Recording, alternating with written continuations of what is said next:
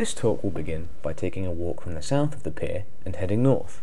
Please note that we have used our own numbering system, which is different to the numbering now, but it is based on the property contracts that we have found. The first house at the south end of the pier is a house that has become known as the Harbour Master's House, which was sold by the States in 2010 for just over half a million pounds. It is called number 15 in the contract, and the States has owned the property for a long period of time. On this recent contract of sale, there is actually no history of ownership recorded, which is unusual. In this undated photo, the same building can be identified as Parks Naval Stores. On the sign it says that the store sells rope, paint, and general goods. We believe this photo was taken between 1851 and 1861 when the store was run by Susan Park and her husband. Unfortunately, he appears to have died by 1861 and the business closed down, as in the census of that same year she is recorded as a 41 year old widow living with her four children as a grocer two doors down further up on the pier. Often, in both the census records and photographs after 1851, this building is uninhabited. There is no evidence in the early census records of it being used as the harbour master's house, but in the 1935 almanac it is recorded as the harbour stores and harbour master's office. We've been told that acting harbour masters lived in the property in the 1950s and 60s. In 1952, the house was used as a film set for the film Toilers of the Sea, based on a Victor Hugo novel and starring Rock Hudson. The next property along I will call number one for the purpose of this talk, but it is more widely known as 14 Gorey Pier. In the same photo as Parks Naval Stores, it can be seen as the Taunton Inn, with the name Cartwright on the sign. In the 1861 census, Joseph Cartwright, aged 42, a shipwright, is running the Taunton Inn with his wife Frances and their five children. The family continued to run the inn for many years, and in the 1881 census, Joseph Sr. has died, but his son Joseph is still living in the property with his family and his widowed mother. There are many photos from this period, which include the property and one of the nicest ones. This is a copy given to us by Ray LePiver of the Channel Island Family History Society. This shows Fanny Cartwright, Joseph's wife, outside of the tavern sweeping the pavement. Ray has identified the young girl in the foreground as Fanny's daughter Jane. Amazingly, this photograph was given to Ray by a relative of his great aunt, who had taken the photo herself, which is unusual to hear of a female taking photographs at that sort of time. The photo was included in an album that she took with her out to China when she emigrated. When she tragically died there in childbirth, her widowed husband took the album on to New Zealand. It was retrieved from the loft in New Zealand and given to Ray, who brought it back to Jersey. The Cartwrights are not living in the property by the 1891 census. We have found a series of complicated property contracts detailing a dispute between Joseph Cartwright Jr. and another party who was contesting his inheritance. It appears Joseph lost, however, but the contract does record that the house was in existence as early as 1829. This house was also well known during the occupation years, where on the first floor the Germans installed a 3.7 centimetre anti-tank gun on a reinforced concrete floor. The steps at the back of these two houses leading up to the back entrance of the castle were known at the time as Cartwright Steps, presumably named after the Cartwrights and their inn. The next house along, number two, in the 1861 census, was occupied by Mrs. Susan Parks, the grocer, who, as mentioned originally, lived and ran the chandlery in the harbour master's house. She remained in this house until at least 1901, still running a grocer's shop. It appears that she outlived her two husbands, as she, is Mrs. Park, widow in 1861, then remarried to Philip Blampied in 1871, but unfortunately a widow again by 1881. The next house, number 3, appears to have remained a residential house throughout the census records and was owned by Frederick Lecellier, a mariner. The next four houses I will group together, as they all at one time form the Elfine Hotel. It is first mentioned by name as the Elfine Hotel in the 1881 census, where it was being run by Auguste Lemaire, a French sailor and innkeeper, Auguste also owned shares in a 24-ton cutter, named the Elfine, along with Edouard Perchard and Mr. Le which in 1881 was recorded regularly bringing sheep from France into the harbour at Gorey, and which presumably gave the hotel its name. We believe the original property of the Elfine, according to the 1881 census, was the tallest of the four houses with the extra floor. Auguste lived there with his wife, Euphrasie, and 14-year-old daughter Emily. In the 1891 census, August is still recorded as the publican, living with his wife, but by this time his daughter is recorded as being married, aged 24. In the St. Martin's marriage records, we were able to find that Emily married Reuben Matt in 1887.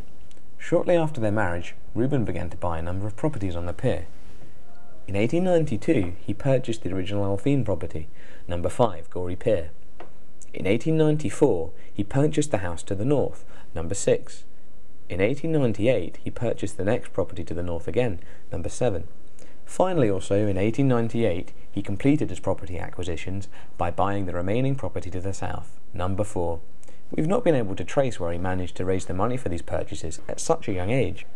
In the 1901 census, Reuben Matt is recorded at the age of 38 as a hotel keeper and owner, along with his wife Emily, 34. Also living with them is Auguste Lemaire, Emily's father. The hotel can be seen in many pictures of this era under the name of Mas Elfine Hotel, and was eventually a place of some repute. Reuben sold the four houses under the name of the Elfine Hotel to the Jersey Investments Company in 1919, but the name of the hotel was in existence until very recent times.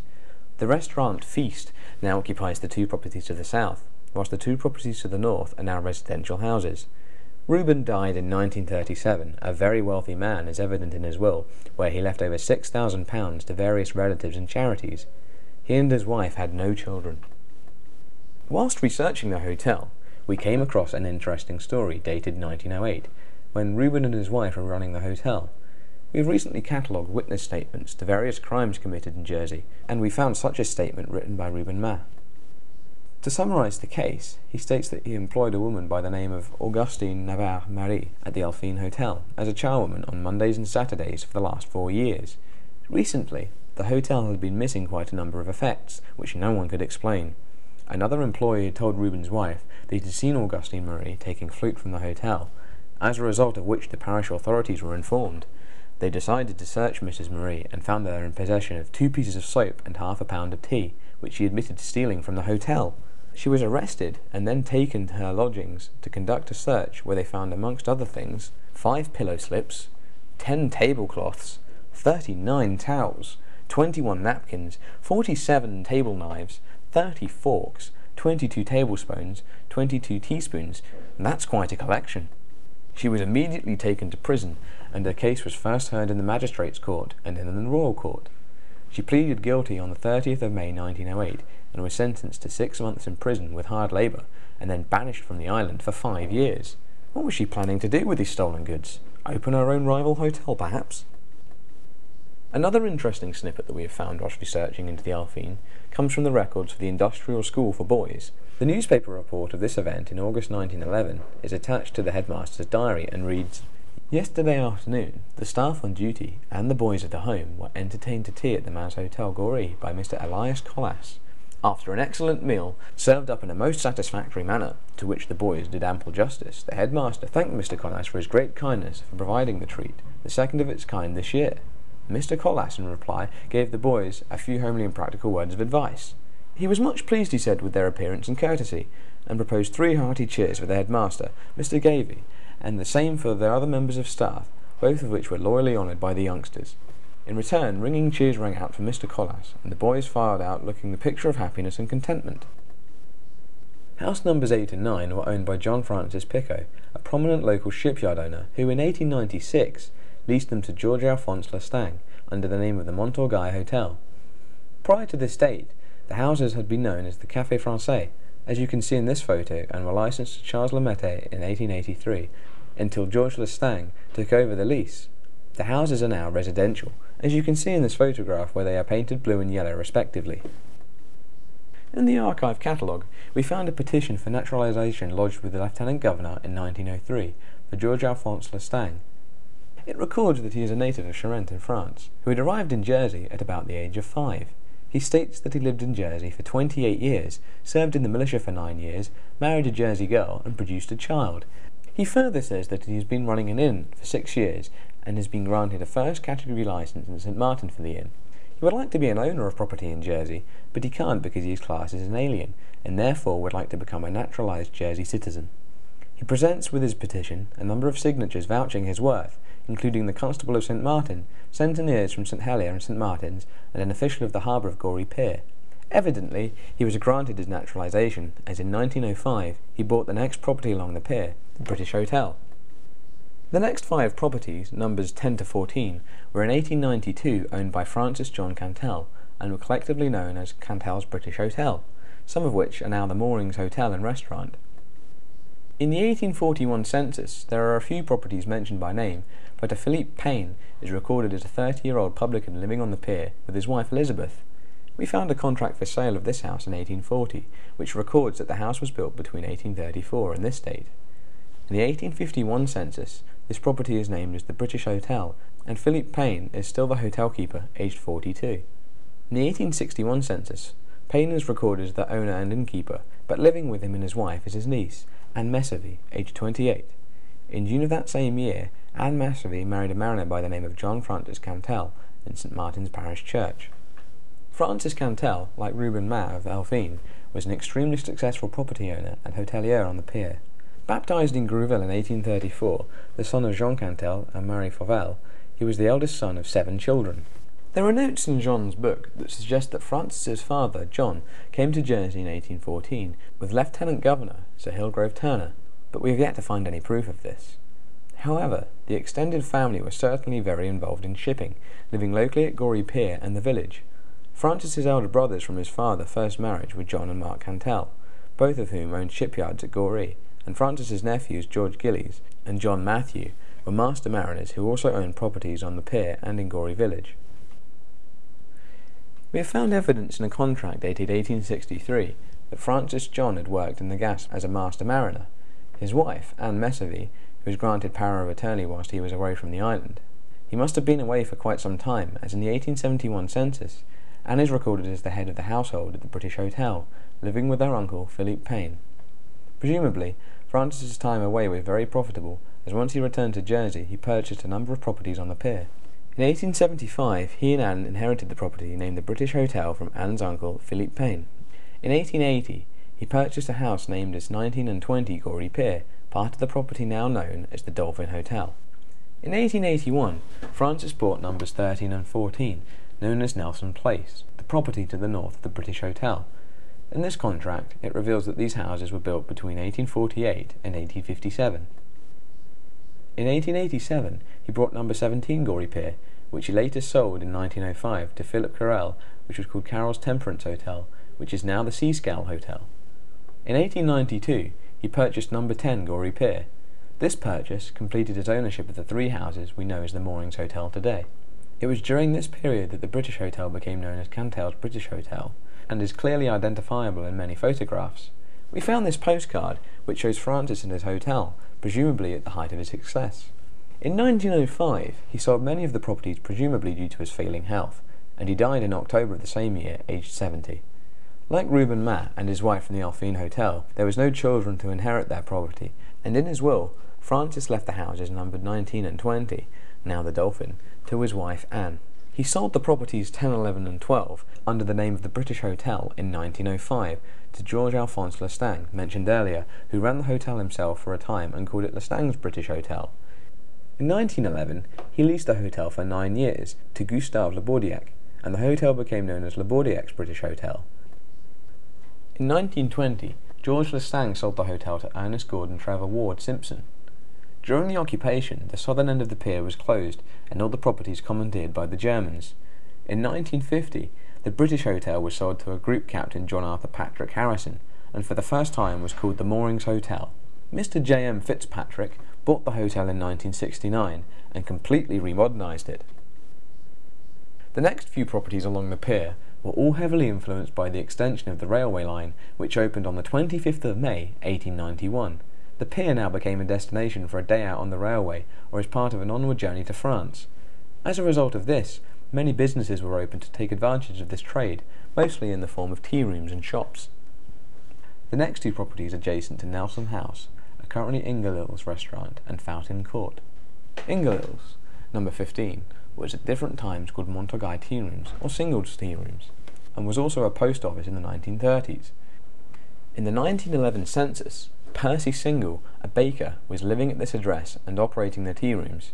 We found a series of postcards in the museum collection which could be purchased from Single's tea rooms as a souvenir of your day out. Fountain Court was known as Nelson House, also with tea rooms on the ground floor. In this particular photo, you can see a big advertising sign for Laberleister's Eau de Cologne on top of the shop, which presumably means it was quite a fancy shop at this time. We believe that this is where Nelson Square was situated, as mentioned in the 1871 and 1881 censuses, with an entrance to the houses from a courtyard, and where the stage horses could be tethered after their journeys. One of the people who lived at this address was Charles de Gruchy, whose occupation in the census record is recorded as a state's public weigher. Charles lived on the pier in this employment for over 20 years, from aged 50 to 70 years, and in the process outlived two wives. The actual weighbridge was further along the pier, outside the building that is now the public toilet block. We've managed to find some documents from 1832 recording the type of goods that were being weighed on this weighbridge. The ink is fairly faint on some of the records, but you can make out that their loads consisted of huge quantities of apples and potatoes, but loads of hay, rake, wheat and butter were also recorded. Unfortunately, it does not specify whether the goods are coming in or out of the port, but presumably apples, potatoes and butter were being exported and wheat imported. Here, you can see Mr. Champion bringing in loads of limestone, presumably for his brickworks at Five Oaks. The weighbridge was closed in 1933. Moving along to the next house, number 17, is the building we now know as the Seascale Hotel. This is a picture from a 1960s tourism advertisement brochure for the hotel, detailing all the services available at this time. Before this date, the property was known as the Seascale Cafe, as can be seen in this postcard, which we believe to be dated to the late 1940s. For many years, the property was owned and operated by the Carell family, and in the early days was known as the Carell's Temperance Hotel. Philip Carell bought the house from the Piers property magnate Francis John Cantell in 1905. He then left it to his son, Thomas Edwin Carell, in his will of 1938, who in turn sold it in 1955. Moving along, number 18 Gorey Pier is the shop known as the Sail Loft. We do not know a lot about it, except from looking at contracts of neighbouring properties, it appears to have been owned by the Jersey Eastern Railway at some stage, and then was later owned by the public of the island, and therefore the states. In some of the photographs, like this one, it also appears to be a store or a shop at one time. After the gap, the buildings are numbered 19 to 22, which now make up the Dolphin Hotel, in the Taverner Licence Books of St Martin, which we hold in the archive, it records that it was first licensed as the Dolphin Hotel in 1947. In this photograph, you can see that number 19 was originally a residential house. We believe that the station master for Gorey Pier, Winter Perchard, lived here. Winter appears to have held his position for many years, as he is recorded as the station master in both the 1901 and 1911 censuses. By coincidence, the railway closed in 1929, and he died later that same year. Number 20 and 21 can both be seen as cafes in this photograph, which was taken shortly after the arrival of the railway, number 20 being Marshall's Cadena tea rooms, and 21 being Stevens Eastern Railway tea rooms. Emma Stevens, who ran and owned Stevens Railway tea rooms, later purchased Marshall's Cadena tea rooms in 1921 and ran both of these under the same name of the Cadena Cafe until her death in 1935. She actually owned all three houses numbered 19 to 21. These houses changed hands a number of times until they were sold to the Dolphin Hotel Limited in 1941. The next house, number 22, was known as the Little House, as it was a very tiny single-storey dwelling.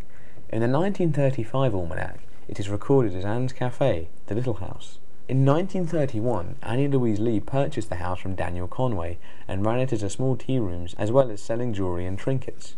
During the occupation, Mrs. Lee evidently refused to leave the pier, but the Germans eventually allowed her to stay.